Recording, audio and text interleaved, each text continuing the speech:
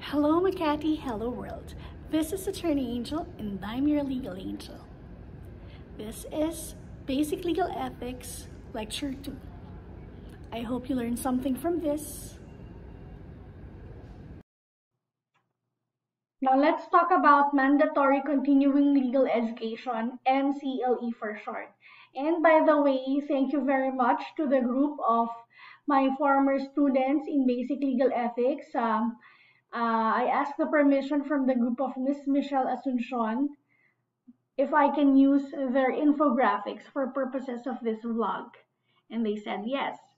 Um, here are the FAQs or most frequently asked questions regarding the MCLE. So what is MCLE? And as I said, it is the Mandatory Continuing Legal Education, a program which is mandated by the Supreme Court, requiring members of the Integrated Bar of the Philippines to undergo continuing legal education to ensure that members are um, up to date or to ensure that they keep abreast with the latest um, developments in the law and jurisprudence, and of course, to maintain ethics of the profession and enhance the standard of the practice of law throughout their legal career or throughout their membership in the legal profession. Now, it is um, also known as Bar Matter 850. And um, a little bit about its history is that um, this was uh, introduced way back in 1997 by the then Chief Justice Hilario Davide. And then fast forward, the Integrated Bar of the Philippines made a study and submitted their proposal, their recommendations to the PhilJA or the Philippine Judicial Academy until it is uh, it was already um, resolved and um, the Supreme Court released Bar Matter 850, which is now the MCLE. And for the legal basis, um, if you remember in Canon 5 of the Code of Professional Responsibility, uh, it is stated that a lawyer shall keep abreast of legal developments, participate in continuing legal education programs, etc., etc., and so forth and so on. So it is rooted in the canons of the Code, Profession, uh, Code of Professional Responsibility and also under the rules of court in Rule 139-A, Section 2, which states that the fundamental purposes of the integrated bar shall be to elevate the standards of the legal profession, improve the administration of justice, and enable the bar to discharge its public responsibility more effectively. So the MCLE was born. Bar Matter 850. All right. So, are there exemptions? Uh, actually, as a general rule, all lawyers must take the MCLE. That is why it is mandatory. But are there exceptions? Of course, there are exceptions. Um, under the Bar Matter 850, there are exceptions such as the president, the vice president, secretaries, undersecretaries of the different executive departments, the senators and members of the House of Representatives, the Chief Justice and the Associate Justices of the Supreme Court, and others, others on the list as mentioned in Section 1 and 2 of Rule 7 of Bar Matter 850. Okay. Oops. Okay. Let's make it bigger. So, what are the requirements for completion?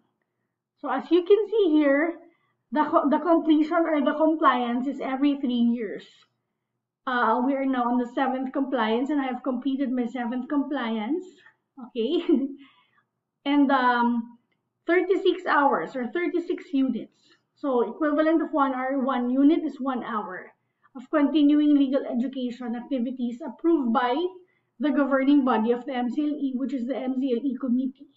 So six units out of the 36 units the, the, these are broken down as follows six hours legal ethics four hours trial and pretrial skills five units or five hours to alternative dispute resolution nine hours um, updates on substantive and procedural laws and jurisprudence 4 units or 4 hours to legal writing and oral advocacy, and 2 units or 2 hours to international law and conventions.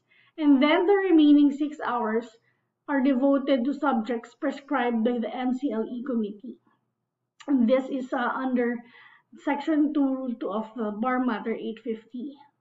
And as you can see, um, heavyweight is now accorded to legal ethics.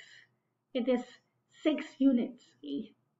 so that the lawyers will be reminded of um, their duty to be always of good moral character and avoid um, negligence, incompetence, immorality, and um, not to be involved in crimes involve, involve, involving moral turpitude and staying true always to the canons of the Code of Professional Responsibility, the lawyer's oath, and the duties of the attorneys under the rules of court. Okay. What if you fail to comply? Are there consequences? Of course there are. So what if a member fails to comply? uh, if you if you fail to comply at the end of if a, if a lawyer fails to comply at the end of the compliance period, he or she shall pay a non-compliance fee of 1,000 pesos and shall be given 60 days to comply with the requirements. And if he or she still fails to comply after the said period for compliance, he or she shall be listed as a delinquent member of the IBP upon the recommendation of the MCLE committee. And we don't want that to happen. His or her membership, membership fees shall continue to accrue during the period that he or she is listed as a delinquent members. So that is under Rule 13 of Bar Matter 850. So please, please, please, when you become lawyers, comply with the MCLE. Otherwise, you know the consequences that will happen. And uh, I mentioned about the governing body of the MCLE, which is the MCLE committee. And the MCLE committee is composed of five members as follows. A retired justice of the Supreme Court, acting as the chair, four members respectively nominated by the IBP, the PhilJA, a law center designated by the SC, and Association of Law Schools and or law professors. And the committee shall administer and adopt the implementing rules as may be necessary, subject to the approval of the Supreme Court, and that is found under Rule 15 of Bar Matter 50. Thank you, and I hope you learned something from this Thank you very much for watching and for listening. Be kind, be a blessing to others, and always remember to glorify God with a grateful heart. This is Attorney Angel, and I'm your legal angel. Sarangye.